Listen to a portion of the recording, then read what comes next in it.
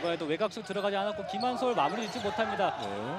하지만 리바운드는 계속해서 상명대학교가 그렇죠, 네. 따내고 있습니다. 아, 석점 그렇죠. 들어갑니다. 네.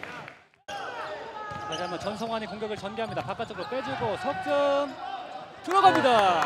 오늘 박정원 석점 두 개째. 그렇죠. 어, 확실히 뭐 조급한 부분이나 수비에서 뭐 간간히 보여주는 미스들이 있거든요, 분명히. 네.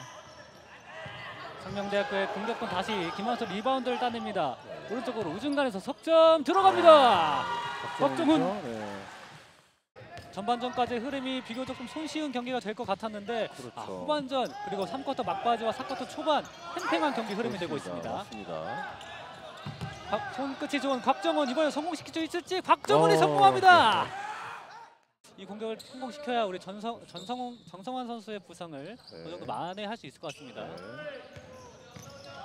김한솔 다시 픽게임이었고요. 왼쪽으로 아, 상당히, 석점 네. 들어갑니다. 박정훈 상당히 볼의 흐름이 좋았죠. 네.